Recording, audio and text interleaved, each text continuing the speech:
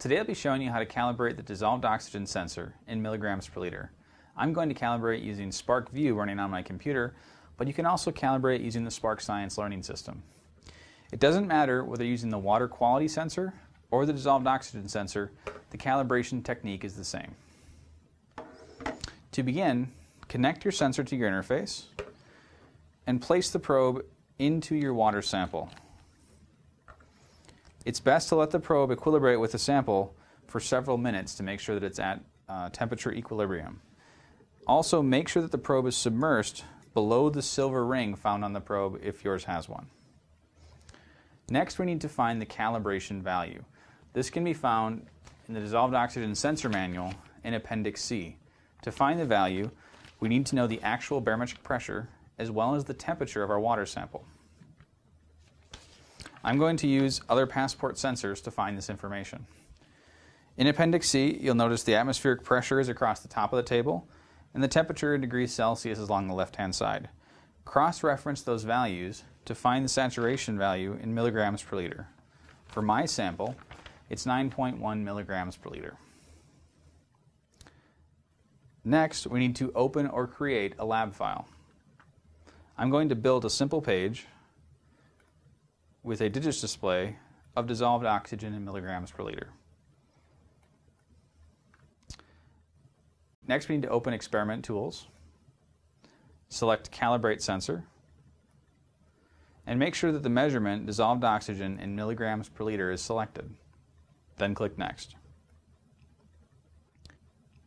We can now enter our calibration value into the standard value Again, for my sample, it was 9.1 milligrams per liter. And next we need to add a small amount of distilled water into the sample bottle, about 5 milliliters. It's best to calibrate using distilled water as dissolved solids can affect the solubility of oxygen. Place the probe into the storage bottle with the distilled water and adjust the height of the probe so that is about one centimeter above the surface of the water. Then place the probe with the sample bottle back into your water sample so they can come to temperature equilibrium.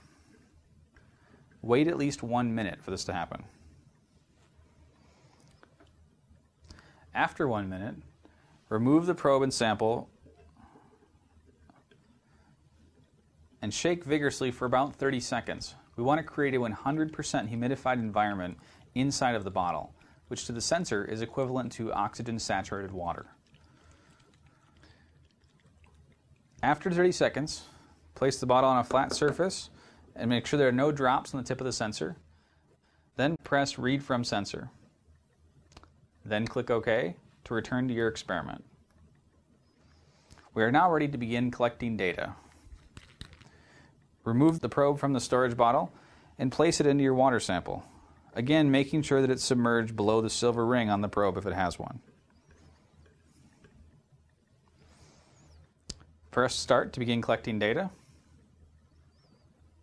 And you're ready to go. Hopefully this has made calibrating the dissolved oxygen sensor easier for you and your students. Thank you.